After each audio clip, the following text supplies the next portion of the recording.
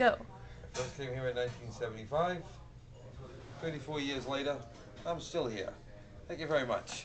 I'm no, you're not. Go sit down. Sit down. What was it like when you first came here? Exactly the same, except for Dick Birch was here. Did they have electricity all the way through the lodge when you came here for the first time? They had electricity. They had water, although the dock was different. And at the end, or the beginning of the walkway to the dock, there was a hose right there. There was a shower right there. There weren't showers in the dock, but there was water right there. And people were forever rinsing stuff there. And when you came back from a dive, if you were down around cottage 15, 16, 17, everybody hit the shower at the same time after a dive. People at the end didn't get nothing for water pressure. I mean, a little drop or two would come out. It was just awful. But that's changed, right? And that's all changed for the better. Now there's hot showers in the dock, and it's, and the dock's different. The dock used to go straighter. I remember it went straighter, and it, and the house was much smaller.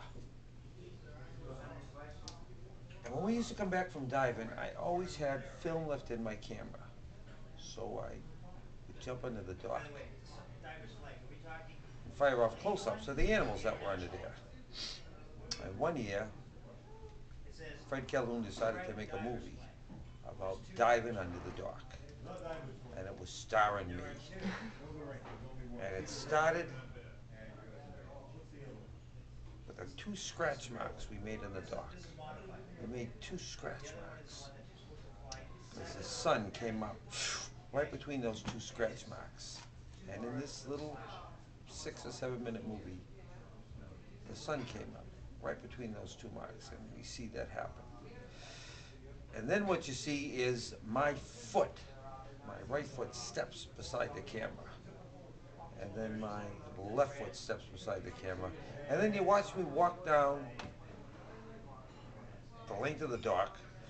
I swing out around the dock house, and I take a left and I disappear from sight. And the next immediate cut, phew, you see me under the dock, swimming with my scuba gear on. Back in those days, there were no eight-inch wetsuits, three mil wetsuits, whatever you want to call them. I used to dive just like this. I used to wear jeans and I used to wear a t-shirt.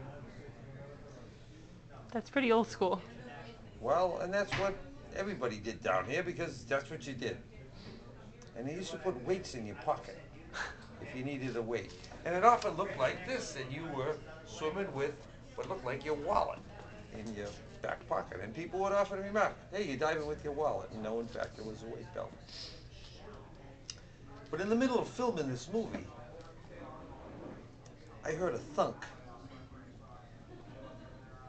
And I was holding all my scuba gear and, and doing laps around this house so Fred could get the cuts he needed. I hear this stunk, and I dropped all my stuff and I went running back and there was Fred hanging on. He had slipped off the ladder and I saw this hand come up and plunk the camera on the deck. And then he fell in and that was the end of it, but he didn't ruin the camera.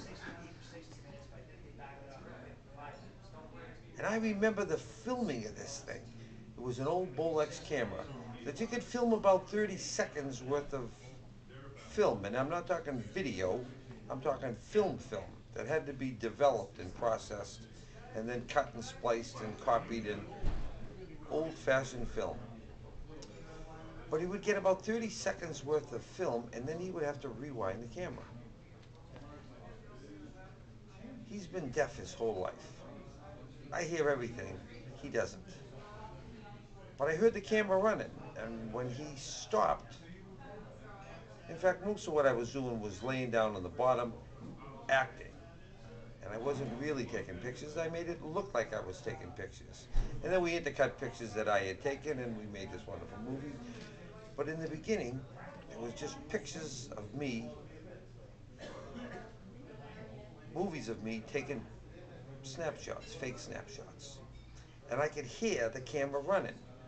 And when the camera stopped running, I'd stop acting, and I'd wait for him, and I'd look at him. I'd look at Fred, and I'd watch him rewinding his camera. And as he'd rewind his camera, he'd look at me, and he'd point down, look down. And okay, great. And I'd be ready, and I'd hear the camera start, and I'd start taking pictures, and the flash would go off, and everything would be hunky dory for about 30 seconds. And then he'd run out of film, and he'd have to rewind the camera, and I'd look up at him, and I'd watch him. And he'd look over at me, and he'd see me, and he'd say, Look down. and after about the third time of this happening, and I'm watching him rewind the camera, and he looks over and he sees me. He took his own hair and he snapped his head down. I got the point, Fred. I won't move. I'll just stay down here, keep clicking until we're done. that was the first movie we ever made. That's the first movie I ever made here with him. okay. And then we came back several times. Sometimes we were coming here for a weekend like June or July. And sometimes we were coming here at the tail end of what's now known as the DEMA Show. Back in those days, it was called the International Conference on Underwater Education, the acronym for which is the ICUE, but you pronounce it IQ, and everybody called it an IQ, just like an intelligence quotient. And it shortened down to two letters. But sometimes the IQ was in Miami, and after that we would come over here for two or three days of diving with Dick Birch. And sometimes it was in San Diego, in which case we would go diving with the California wackos and these Catalina Islands and Channel Islands and all the wonderful boats they had out there. But it was, I don't know, in 76, 77, someplace in that range. It was in Miami. We were coming over here to dive for two or three days, and I remember Fred calling Dick and hearing that there were, in fact, waves in the dining room from a passing hurricane. But they managed to dry the place out, this place that hasn't changed, and we came over here and we went diving for two or three days, and then back to Boston.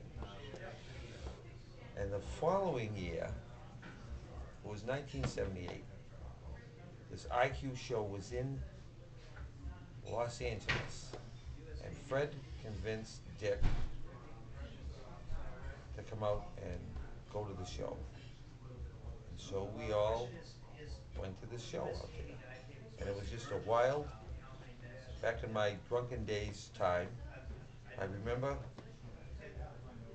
dancing with a girl named Cheryl Rodriguez at the California State Disco Championships. It was just a whole weekend of debauchery and Jesus, I. We ended up on a boat called the Bottom Scratcher out of San Diego, diving with Dick, and it was just a wonderful time. And back and forth they went. Sometimes there, sometimes in Miami. Coming here in July, and and it just went on and on. And Jeff's always been a couple of years younger than me, and that's never going to change. Right. I always thought he was older than me, but in fact, I just found out that he's a couple of years younger than me. But I remember watching him grow up here, and he was just a kid. But he drove the boats, and I remember we always wanted to do this over-the-wall dive at 7 a.m. In fact, it used to be at 6 a.m. in the summertime because it got lighter earlier, and it was Dick Birch's signature dive, but he wasn't always here when we were here. So sometimes we would have to go over there where all the staff and I'm pointing to Carlisle and the boutique and all that stuff now. Mm-hmm. But all the staff used to live over there, and, and we would climb over the bodies that were passed out from the night before, wake up the likeliest candidate we could, send them off to get the boats, and off we go on these early morning wall dives, which have been going on, as far as I'm concerned, forever.